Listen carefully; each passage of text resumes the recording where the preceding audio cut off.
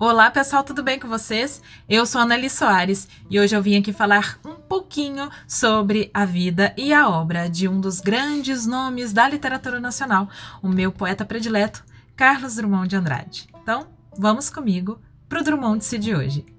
Bom, então vamos lá falar um pouquinho sobre este grande poeta. E eu estou fazendo esse vídeo hoje, porque no dia 31 de outubro é comemorado o aniversário de Carlos Drummond de Andrade. Ele nasceu no dia 31 de outubro de 1902, na cidade de Itabira do Mato Dentro, mais conhecida somente por Itabira, em Minas Gerais, né? Ele é filho de Carlos de Paulo Andrade e Julieta Augusta Drummond de Andrade, né?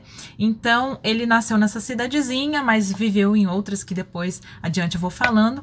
É, e assim, a minha intenção é celebrar um pouco, né, é, tanto a vida quanto, quanto, a obra deste autor de que eu gosto tanto. Se você está chegando aqui no meu canal agora, saiba que eu tenho um projeto chamado Drummond-se, que lá no Instagram é feito desde 2019, desde janeiro de 2019, com análise semanal de um poema do Drummond. Então, lá nos stories vocês conferem toda quinta-feira esta análise em que eu coloco as minhas percepções, as minhas leituras, curiosidades sobre algumas referências que o Drummond coloca nas, nos poemas, contexto histórico, social, cultural, etc. Política bastante, né? Claro, falar de Drummond também é bom lembrar, é sempre é, é importante essa, essa característica da obra dele, né? Que é muito é, crítica, enfim, o Drummond era um poeta social, então é importante. Então eu faço todas essas referências nas minhas análises. Por esse projeto que eu criei em 2019, eu faço essa leitura de Drummond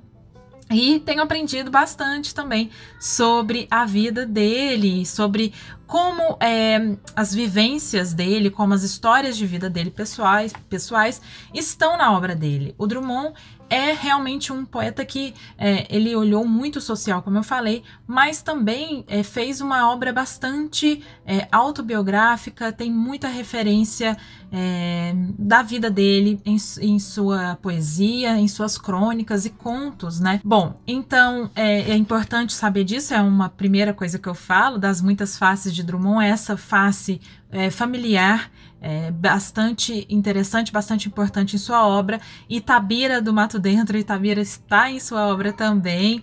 Para quem já leu alguma coisa de Drummond, sabe que ele é, se colocava muito como este ser mineiro, né? Como este mineiro é, em outra cidade, esse mineiro que saiu do lugar, como ele fala no seu verso. É, Itabira é apenas um retrato na parede mas como dói, porque Drummond então é este poeta que tem a sua raiz bastante forte neste lugar, né? Tem uma referência muito importante desta desses primeiros anos de vida. Gente, vocês estão ouvindo a Frida? Ela não para de miar. Bom, e é em Tabira que ele vai ter os primeiros estudos, vai estudar nos primeiros colégios, e ele vai para um colégio interno é, muito novo. Em 1919, ele é expulso deste colégio. Agora eu vou esqueci o nome. Colégio Anchieta. Ele foi expulso em 1919 por insubordinação mental. Gente, eu acho, eu acho super curiosa essa passagem da vida do, do Drummond. É, e eu fico imaginando, né, assim, que, que coisa mais interessante, coisa louca. É, a gente saber que um dos maiores poetas, dos maiores escritores do século XX do nosso país foi expulso de um colégio por insubordinação mental. Então a gente vê bastante, imagina o perfil deste colégio, né? Que era um colégio interno e ele também tem poemas sobre este período da vida dele. Por exemplo, em Boitempo, na trilogia Boitempo, principalmente Boitempo 2 e 3, eu acho que tem bastante referência a essa, essas vivências do colégio, do colégio interno, né? Dos meninos ali e tal, presos, e de como ele se sentia livre, né? É, às quintas-feiras, e por acaso, né? Porque o meu projeto é quinta-feira, eu, eu fiquei bastante marcada por isso que eu não sabia anteriormente mas às quintas-feiras que ele não tinha aula, então ele era livre, e ele escreveu bastante sobre isso também. Então, esses primeiros anos de vida do Drummond é, tem essa característica de experiências na, na fazenda, né? Porque é legal eu citar aqui que a Drummond é de uma tem uma família abastada, né? Lá da região. O, o, bisavô dele já tinha terras lá na região de Itabira e explorava essas é, ouro e riquezas, enfim, minerais e naturais lá de Minas. E tem também o Drummond escreve muito sobre essas esses traços é, de da, da, exploração da mão de obra escrava, né, de pessoas escravizadas, para trás mente, né, da história do Brasil e da sua família também. Vocês veem que é um perfil de, de, de muita, é um perfil de fazenda, é um perfil rural, assim, né, é, e tem essa questão da elite, né, da época, coronel, aquelas coisas bastante que a gente sabe como era, é, enfim, como foi, e às vezes até, dependendo da cidade, muito do interior ainda é, é dessa essa relação aí com os coronéis da cidade, e o Drummond, a família dele era é, bastante abastada, então eu, eu fico imaginando, né? Então ele foi para esse colégio interno e tal, foi expulso. E aí, em 1920, a família dele se muda para Belo Horizonte, né? Um dos irmãos dele, o Altivo, vai publicar num, num único exemplar do jornalzinho Maio, o poema em prosa Onda. Então, é a primeira publicação dele, antes mesmo de se mudar para Belo Horizonte. Eu estava misturando. Em 1921, ele vai conhecer escritores, né, ali da região, escritores de Belo Horizonte, enfim, escritores mineiros, entre eles Pedro Nava. Pedro Nava que é um dos grandes amigos do Drummond, que, enfim, ele sempre há, né, essa citação, inclusive quando ele conhece uh, Oswald de Andrade, Tarsila do Amaral e Mário de Andrade, que foi um dos grandes amigos e grandes inspirações, enfim, é, é, o Mário de Andrade foi um mestre, entre aspas, do Drummond nos primeiros anos, principalmente de publicação, e ele trocou cartas com o Mário de Andrade durante muitos anos, até é, poucos dias antes do Mário morrer. Inclusive, eu gravei lá no, no meu Instagram e também publiquei aqui, publiquei trechos de uma carta muito muito bonita do Mário de Andrade ao Drummond, né? Então eles têm essa troca intensa de, de, de cartas e o Drummond começa então a se cercar, né, desses escritores, dessas pessoas que estavam, desses artistas que estavam é, é, publicando, desses artistas que estavam produzindo arte naquele momento. E como vocês né, devem é, já ter ligado nomes do modernismo brasileiro. Em 1924, além do Mário, do Oswald da Tarsila, ele também é, conhece Manuel Bandeira. Manuel Bandeira foi assim um, nome importante para a vida e para a obra de Drummond. Ele escreveu vários poemas para o Bandeira, quando do, do, dos 50 anos do Bandeira, enfim, é, outras homenagens depois que o Bandeira também morreu.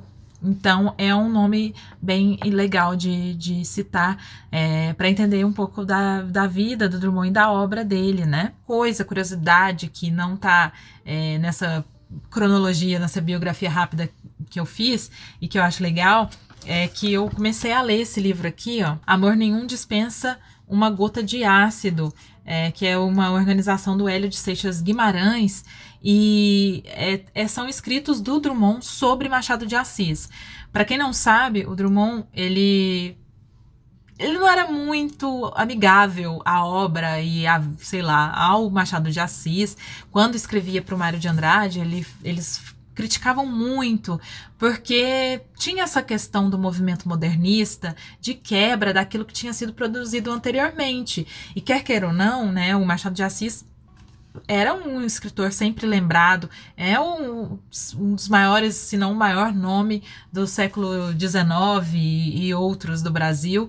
Então, é, realmente eles iam olhar para o Machado e iam é, querer ir num sentido oposto, a, porque era, era essa, essa a proposta do movimento, né? Quebrar com regras, com, com coisas que já estavam sendo realizadas no Brasil, né? Então, o Drummond, em diversos momentos, é, foi bastante ácido sobre a, a, a obra do Machado, mas em algum momento da vida dele, ele volta atrás. Ainda bem que a gente pode, né, mudar de ideia ou mudar a nossa, o nosso posicionamento diante algumas obras, algumas pessoas. E ele, ele entrega que o Machado de Assis foi uma das grandes influências literárias né, dele, que ele não podia deixar de citar, e aí ele faz um poema belíssimo, né, a um bruxo com amor, que é muito lindo. Recomendo muito que vocês busquem, leiam, que é maravilhoso, assim. Então eu queria muito é, trazer essa curiosidade. Em 1925 ele vai se casar, né, com a sua esposa Dolores, que era, uh, segundo o Drummond, próprio Drummond, foi a primeira ou a segunda mulher a trabalhar uh, como funcionária é, na, em Belo Horizonte. Ela trabalhava como contadora numa fábrica de sapatos é, e foi é, essa uma das primeiras mulheres a ter esse emprego formal né, na região, na, na cidade. E o Drummond, e é segundo Drummond, porque uma característica dele interessante era que o Drummond ele era muito é, ele tinha uma questão muito virginiana, assim, mas ele não era de virgem, né? Ele é de, de escorpião. É, escorpião. Mas ele tinha um arquivo ele arquivava as coisas e ele gostava muito é, de estudar né, a história, de guardar recortes de jornais, documentos, e esse material todo hoje a família dele disponibilizou para o Instituto Moreira Salles, a maior parte está no Instituto Moreira Salles lá do Rio. Então, assim, esse arquivo é bem importante é, e o Drummond passava assim todos os dias, pelo menos um pouquinho do tempo ali fazendo esse arquivo, né? E ele fazia anotações, enfim. Então, assim, uma característica legal do Drummond, né? Importante, assim, para ele. Ele era todo esse é, mais certinho, né? Ele tinha essa organização muito forte, né? Então, assim, fica aqui essa, essa questão dele. Gente, eu até agora não falei, mas é, eu queria convidá-los a ler uma entrevista que eu fiz com o Pedro, que é o neto do Drummond, neto mais novo, pro dia D, né, pro 31 de outubro do ano passado, em 2019, tá no meu blog, vou deixar disponível ali o link. E aí é muito legal, porque aí o Pedro contou coisas bem pessoais do Drummond como avô, do Drummond em casa, do Drummond dentro dessa reunião familiar com a filha dele, que é, nasceu em 1928. Na verdade, o Drummond só teve a Maria Julieta de filha porque o primeiro filho do Drummond, que nasceu em 1927, também chamado Carlos, né, Carlos Flávio, ele, ele nasceu, mas ele morreu meia hora depois por causa de problemas respiratórios. Né? Então, o filho dele, mais velho, morreu logo depois do parto, e aí ele só teve a Maria Julieta, que nasceu em 28, e que foi uma grande companheira do Drummond. Eles eram muito amigos, né? E ela também escrevia, ela era jornalista e também escrevia. Ela publicou livros e tal, então, assim, é, eles eram realmente muito próximos, escreviam, trocavam cartas, ligações diárias. O Pedro fala sobre isso também lá na entrevista. Então, ela nasceu em 28, no mesmo ano em que Drummond vai publicar ah, o poema No Meio do Caminho. Gente, eu acho que todo mundo, pelo, se não conhece nada de Drummond, conhece ou já ouviu falar desse poema que é polêmico até hoje. E é legal destacar que ele foi publicado em 1928, antes da publicação do primeiro livro do Drummond, né? Que é o Alguma Poesia, que vai ser publicado em 1930.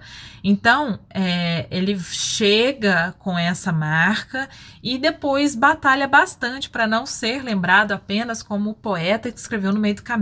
Imagina, né? É, aquilo ali causou um rebuliço porque houve quebra é, de várias coisas, né, com esse poema, como a quebra da, do, do formalismo, né, da, do poema, é um, um, poema uma, numa linguagem informal, por exemplo, em vez de havia, tinha, essas coisas assim, é, que parecem bobas, mas que fazem enfim, que fazem diferença ou que naquele momento foram muito importantes, porque, como eu citei anteriormente, né, houve um modernismo, né, um movimento de modernismo no Brasil, e que o Drummond é um dos nomes, né, sempre citados e lembrados para é, entre esses escritores desse movimento tão importante da nossa literatura, né? E esse, esse poema é um marco né, do modernismo no país e também, claro, da sua obra. Então, em 1930, como eu falei, ele vai publicar alguma poesia. Eu não sabia, depois eu fiquei sabendo, fiquei pensando muito sobre o mercado editorial no Brasil, etc., como a vida de escritor é, tem, é desafiadora, porque alguma poesia vai ser publicado, auto publicação do Drummond, ele vai pagar para publicar, ele vai fazer, acho que, não, se não me engano, 500 é, 500 cópias desse primeiro livro dele. O segundo livro dele vai ter uma pegada mais ou menos parecida, que ele vai publicar 200 exemplares pela cooperativa Os Amigos do Livro. Agora, o mais marcante para mim foi saber que é, em 1940 ele vai publicar um dos grandes, no, grandes livros da, da sua obra, que é Sentimento do Mundo, que é um dos meus prediletos, e ele vai se autopublicar novamente. Ele faz uma publicação bem tímida, com uma tiragem de 150 exemplares que foi distribuída entre os amigos. Isso aqui eu não sabia, né? Depois que eu comecei a estudar Drummond, que eu soube e eu fiquei de cara, porque quando se fala em sentimento do mundo, né? Imagina-se um sucesso, assim, né? De publicação, sei lá. Mas, gente, é um dos grandes é, livros dele, depois foi republicado, né? Outras em outros por outros selos. E na verdade, Drummond ele vai ser publicado numa editora apenas em 1945 que é, ele vai levar a Rosa do Povo, que também é outro grande livro dele, para a, a editora José Olímpio, né? A editora José Olímpio foi a primeira a publicar Drummond no Brasil e será a editora dele a, a, por muitos anos, por décadas, até que ele assina o contrato com a editora Record, né?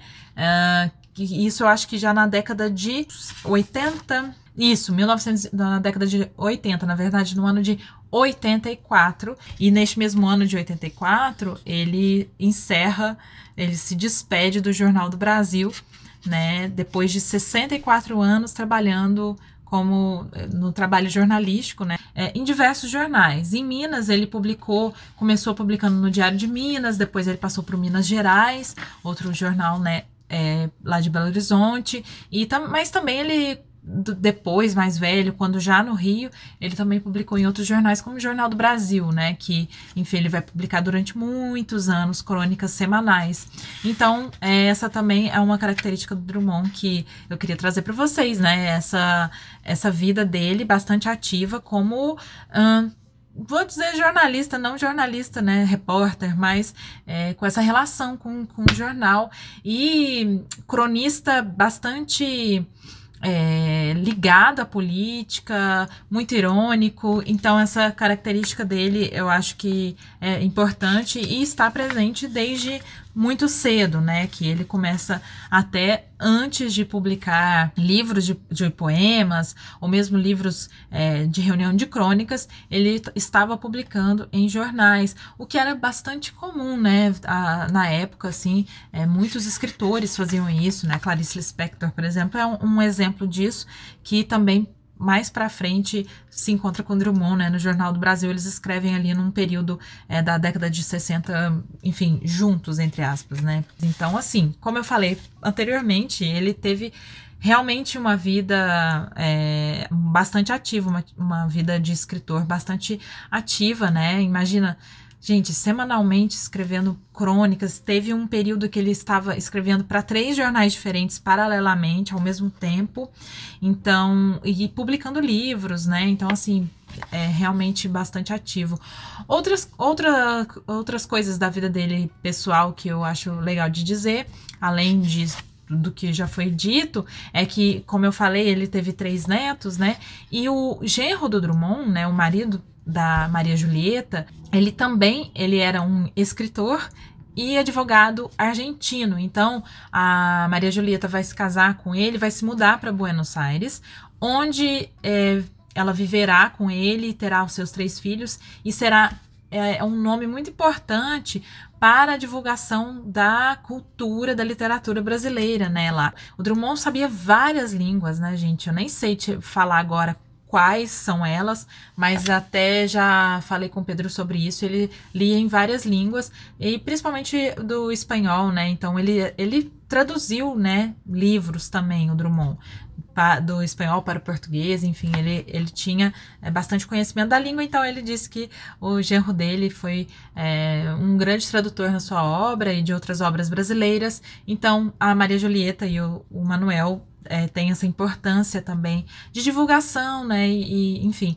da literatura brasileira, da cultura brasileira é, para países de falantes, né, do espanhol. Então ele vai ter três netos, o mais velho é o Carlos Manuel, depois nasce Luiz Maurício e por fim o Pedro, né, o Pedro Augusto, é, que é o seu neto mais novo, que nasceu em 1960, e ele faz viagens a Buenos Aires para conhecer os netos, isso, enfim, fica marcado na sua biografia também. Agora ele tem um bisneto, né? Ele tem um bisneto que é filho do Pedro. Vamos finalizar com aquilo que a gente já sabe que aconteceu, né? Afinal de contas, o Drummond morreu já faz alguns anos.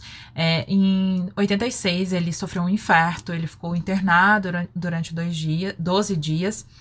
E em janeiro de 87, ele vai publicar o seu último poema, que está no livro Farewell, que eu vou depois ler para vocês. No dia 5 de agosto de 87, a Maria Julieta morre. Ela estava internada já, ela ficou doente muitos anos antes, se não me engano, ela teve um câncer. E o Drummond vai dizer que morreu a pessoa que ele mais amou na vida dele. Doze dias depois, ele morre de problemas cardíacos. Então, é, ele morre no dia 17 de agosto. É isso, 17 de agosto de 1987.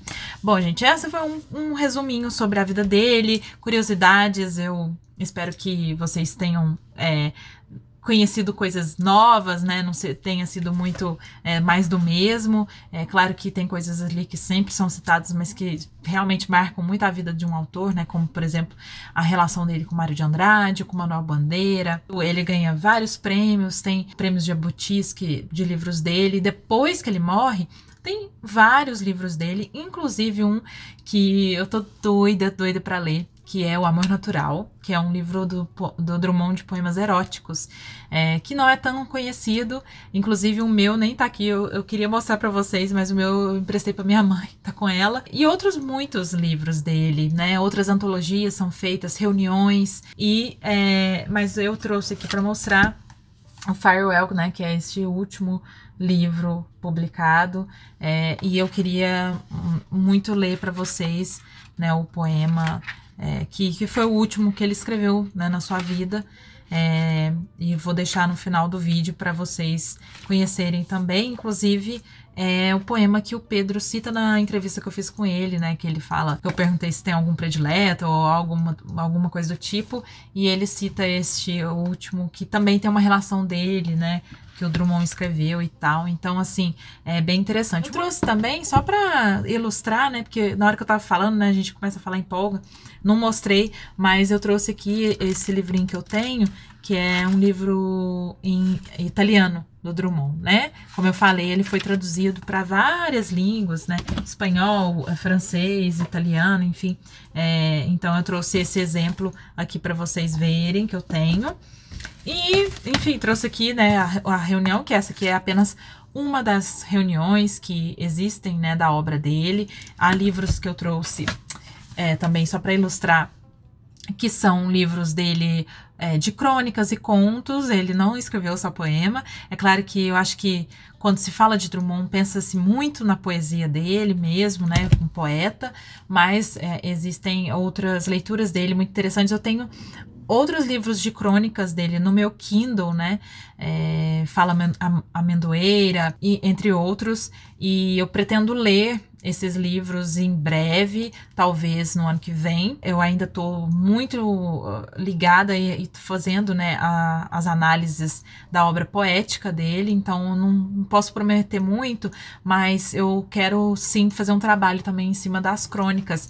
E este livro aqui, a Bolsa é a Vida que eu trouxe de exemplo, foi o primeiro livro do Drummond que eu comprei com meu dinheiro quando eu era estudante universitária e eu até utilizei alguns trechos para ilustrar o meu TCC, né, que eu fiz sobre é, culinária mineira, perfis de pessoas ligadas à culinária mineira, como identidade cultural, etc. E eu usei essa referência, eu gosto muito desse livro, gente, muito mesmo. Eu não falo muito dele, ainda não falei por falta de oportunidade, mas eu quero reler, que eu lembro que ele me marcou muito, foi um livro que eu gostei bastante. Então, assim, eu, eu gosto, né? Eu gosto muito da, da obra dele em prosa também. Queria muito que vocês conhecessem, se não conhecem, né? E se você conhece, me conta aí qual livro dele que você gosta, alguma crônica que te marcou, conto, etc. Ele consegue é, trazer a crítica, a ironia, o humor, com uma leveza, sabe, ao mesmo tempo. Porque um, um poeta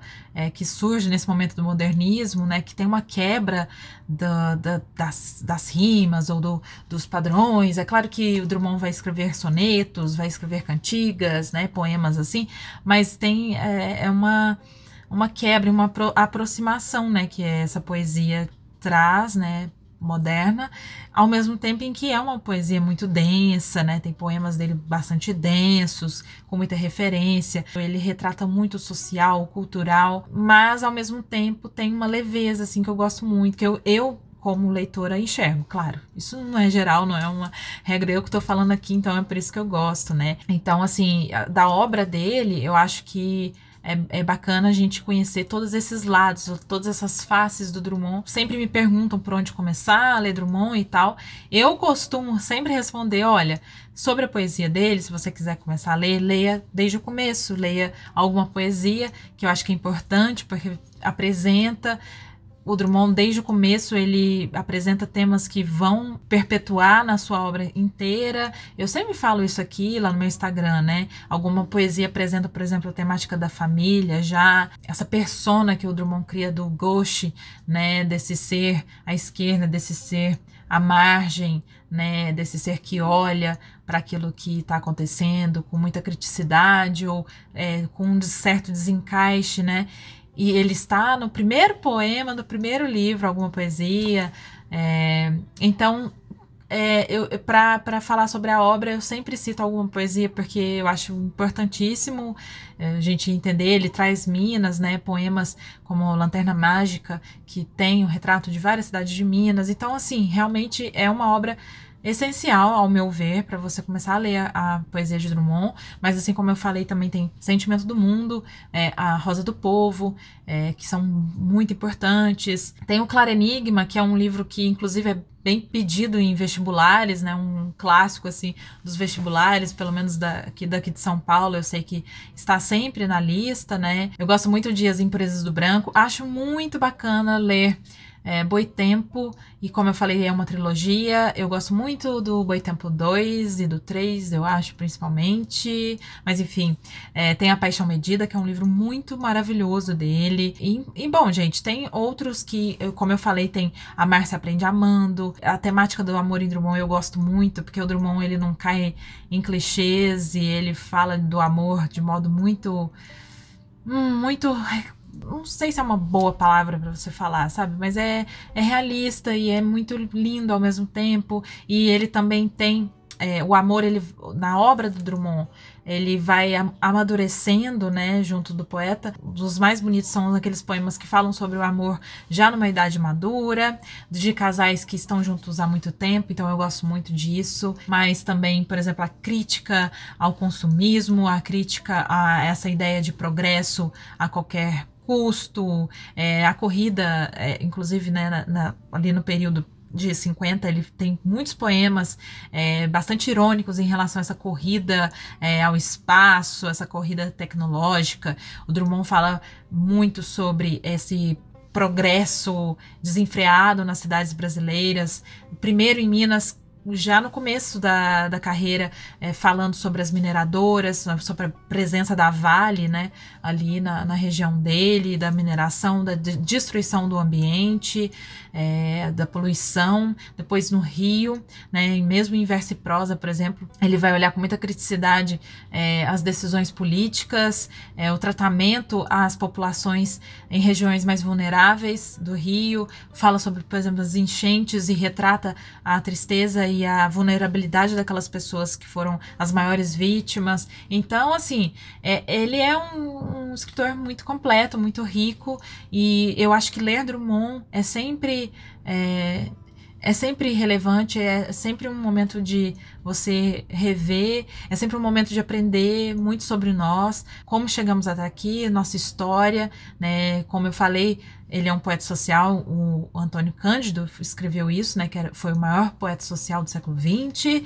Então, assim, ler Drummond é importantíssimo, gente. Eu, eu acho, eu gostaria que você também pensasse junto comigo sobre isso e, e também por ele ser parte da nossa, do nosso, da nossa riqueza cultural, né? Eu gosto muito de literatura brasileira não sei se vocês já perceberam, mas eu tento sempre valorizar, né, aqui e lá no meu Instagram.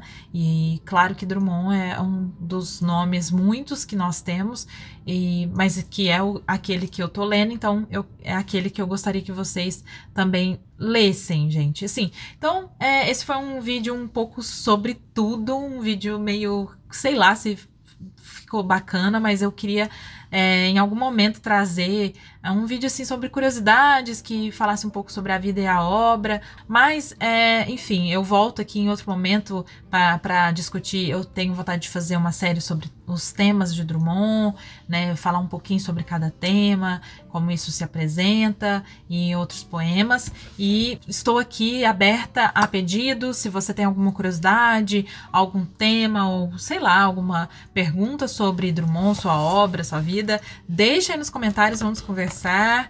Quem sabe eu não, não penso e produzo né, vídeos com dúvidas de vocês, com sugestões. São todas muito bem-vindas. E, gente, eu vou pedir para você que continuou até aqui comigo para você, por favor, curtir esse vídeo, enviar ele a amigos, amigas, colegas, enfim, pessoas interessadas em literatura brasileira, poesia, em Drummond, por favor. É, espero muito que você tenha gostado. Se gostou, também aproveite e confira que eu tenho uma playlist só é, com um vídeo sobre Drummond, né, poesia dele aqui, análise, etc.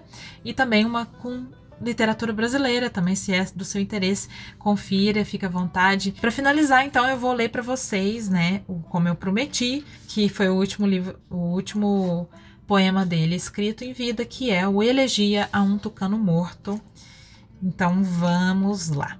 Elegia a um tucano morto, ao Pedro. O sacrifício da asa corta o vôo no verdor da floresta. Citadino serás e mutilado caricatura de tucano para curiosidade de crianças e indiferenças de adultos. Sofrerás a agressão de aves vulgares e morto quedarás no chão de formigas e de trapos. Eu te celebro em vão, como a festa colorida, mas truncada, projeto da natureza interrompido ao azar de peripécias e viagens do Amazonas ao asfalto da feira de animais. Eu te registro simplesmente no caderno de frustrações deste mundo, pois para isto vieste para a inutilidade de nascer. Bom, gente, então é isso. Vejo vocês no próximo vídeo. Um beijo grande e viva Drummond!